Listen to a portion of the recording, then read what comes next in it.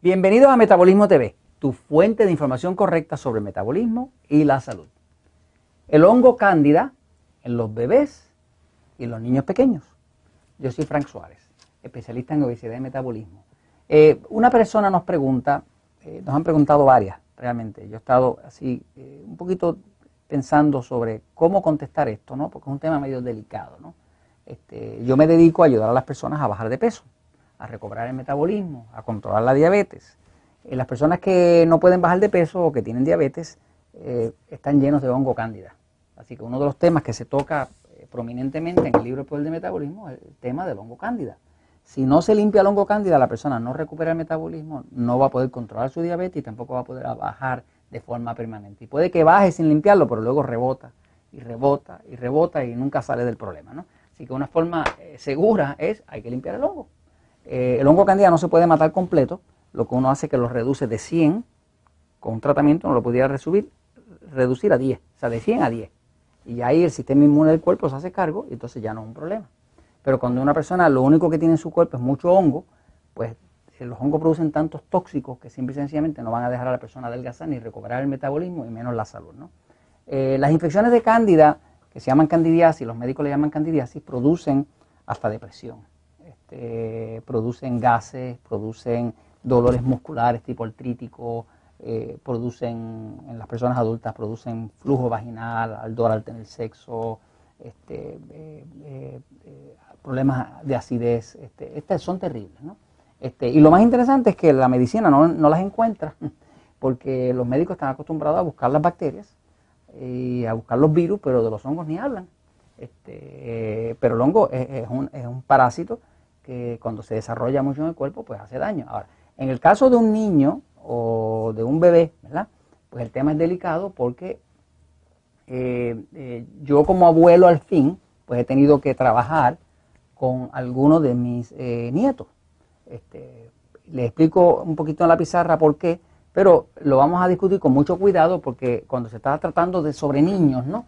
Pues uno pues va al pediatra, lo que sea, aunque desgraciadamente muchas veces el pediatra no va a saber eh, manejar el problema de hongo con el niño. O sea, a un niño, a un bebé no le pueden dar un medicamento de eso que le dan a un adulto para matar hongos, como diflucan o nistatin y cosas de esas, que son eh, medicamentos dañinos al hígado, no le pueden dar eso. Así que los médicos realmente no tienen una forma de trabajar la cándida en el cuerpo de un niño.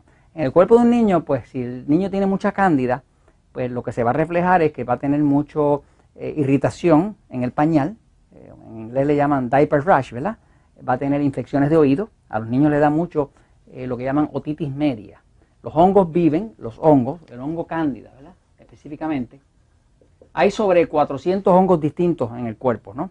Y hay como 8 variedades de cándida, pero cándida albicans es la principal, ¿no? Esta es la más invasiva, ¿no?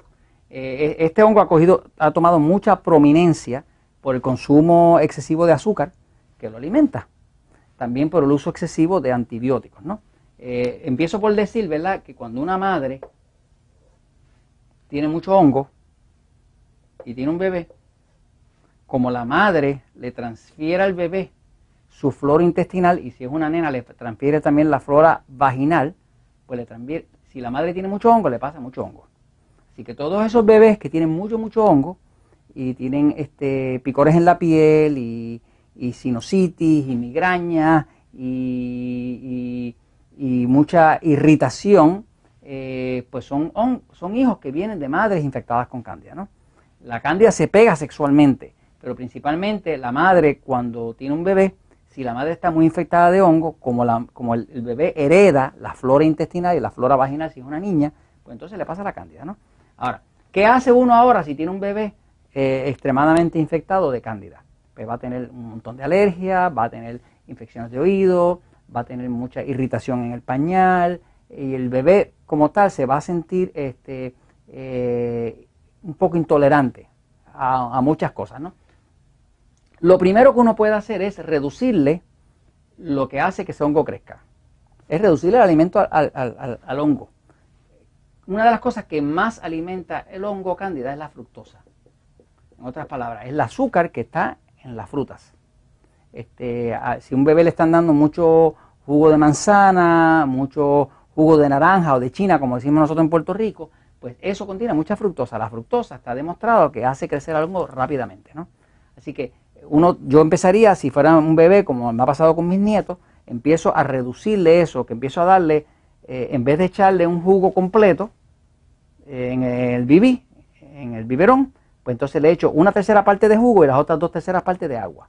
O sea, le hago un juguito aguadito, de forma de que no haya tanta fructosa que esté alimentando al hongo, ¿no?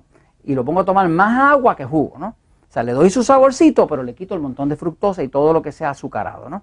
Eh, todo lo que sea azucarado y sobre todo si tiene fructosa, le va a hacer daño al bebé, porque le obliga al hongo a reproducirse e invadir más, ¿no? Ok, lo otro es que hay que reducir o eliminar idealmente la lactosa.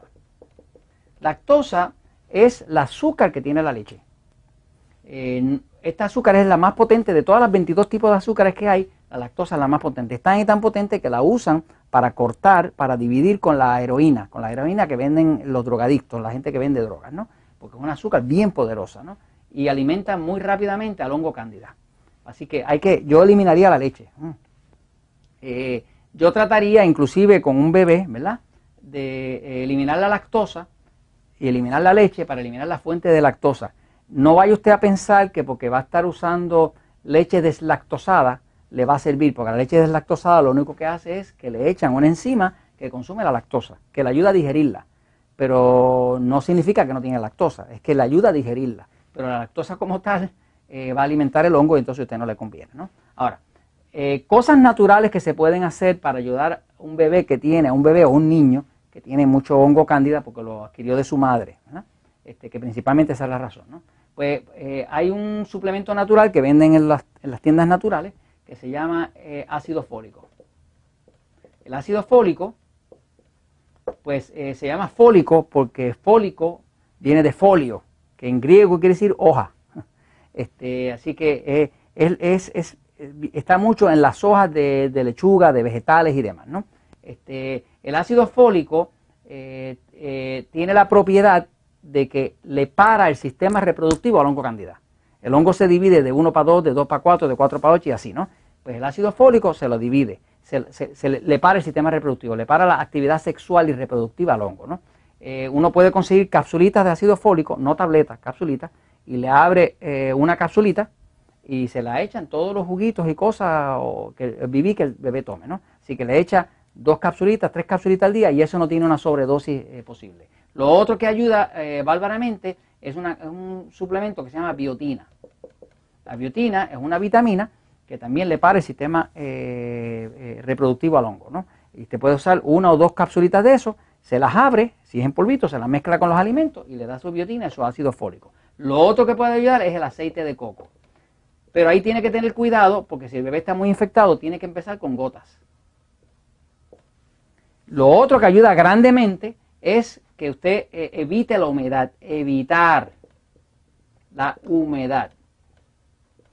Porque la humedad es lo que permite que el hongo siga reproduciéndose. O sea que si tiene un cuarto muy húmedo, con las paredes medias mojadas, con humedad, olvídese que va a haber mucho hongo, mucha espora y el bebé siempre va a estar muy infectado. Así que necesita tener un cuarto bien seco, con buena ventilación pero que no haya mucha humedad, ¿no? Y lo último, que es una ayuda espectacular de buena, es que si usted saca ese bebé al sol, a tomar sol, digamos tres veces en semana, por unos 10 o 15 minutos, un baño de sol, el sol tiene un efecto espectacular fungicida, mata los hongos, porque el sol contiene rayos ultravioleta y los rayos ultravioleta no solamente levantan la vitamina D del cuerpo, que es la que ayuda al sistema inmune, sino que también mata el hongo. Así que tres bañitos de sol de 10 o 15 minutos a la semana y esta listita que está aquí, y le garantizo que va a haber un resultado de mejoría en el bebé o en el niño.